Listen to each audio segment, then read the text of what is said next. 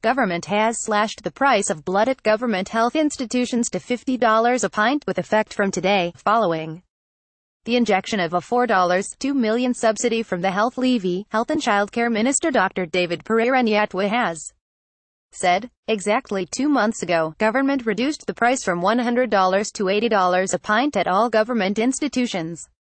Before dropping to $100 in October 2016, a pint of blood was pegged at $135 figures that were beyond the reach of many resulting in many deaths.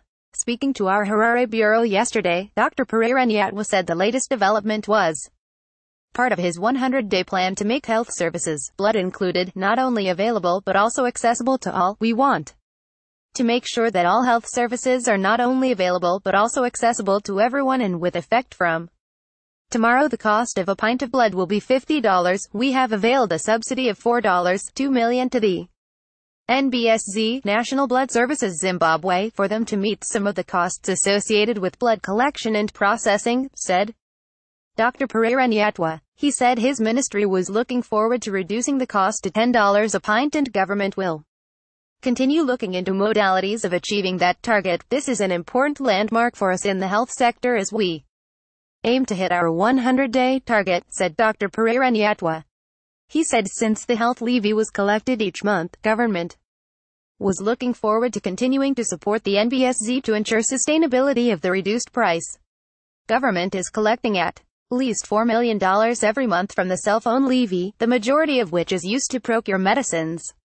A 5% allowance is deducted from every $1 worth of airtime, money that is then channeled towards the health levy.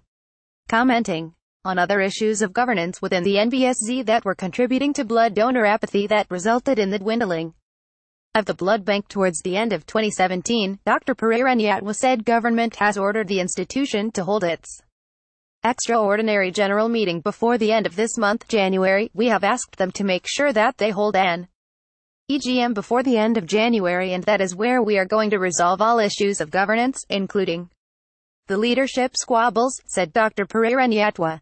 NBSZ Public Affairs Manager Ms. Esther Masunda confirmed that blood would be sold for $50 a pint at all public health institutions starting from today. She however could not confirm if the reductions have also been effected in the private sector, which is currently buying blood at $120 from NBSZ. The position with regards to the private sector would be clearer soon after the holidays, but special focus was on government institutions which consume 80 percent of our products, said Ms. Masunda. She said internally, NBSZ implemented cost-cutting measures, which also saw its annual budget dropping from $9 million to $7.8 million. Commenting on the latest reduction, renowned Harare lawyer who is also a blood donor, Mr. Rogers Matsikidze welcomed the development as a step in the right direction. That is very positive news as we begin the year and this is evidence that it is possible for the price of blood to go to even zero, said Mr. Matsikidze. He said the next step for government should be to ensure that patients with chronic illnesses, pregnant women, children under the age of 5 years and the elderly get blood for free.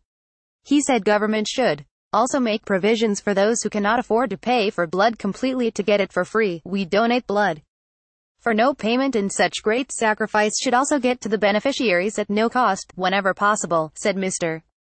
Matsikidze. He challenged government to speed up regulation of blood and blood products in the country, saying such a critical sector should not be left unregulated. Although blood is donated for free, the NBSZ had always been arguing that it costs $135 to produce a unit of blood and this is the price the blood was being sold to hospitals. As there were no subsidies. Specialist surgeon Dr. Junika Dari, who is also a loyal blood donor, applauded government for the price reduction saying many lives would be saved. Dr. Dari said on many occasions patients would die as they failed to pay for the required amount of blood. All general surgeries, ophthalmology, neuro, orthopedic, gynecology and all other major surgeries require at least 4 units of blood. The majority of maternal patients also require additional blood and blood cancer patients require at least 3 units of blood every month. Some of these patients end up dying as they fail to raise the required money to get the blood, which is accessed on a cash up-front basis, said Dr. Dari. He said, from a medical perspective, the next step should be decentralization of blood distribution centers across the country. There are only five. Distribution centers in the whole country and some provinces do not have blood banks such that sometimes patients are required to travel from where they would be receiving treatment to get transfusion in another province. Patients should be able to get treatment from wherever they are, he said. Join Bulawayo 24 online community.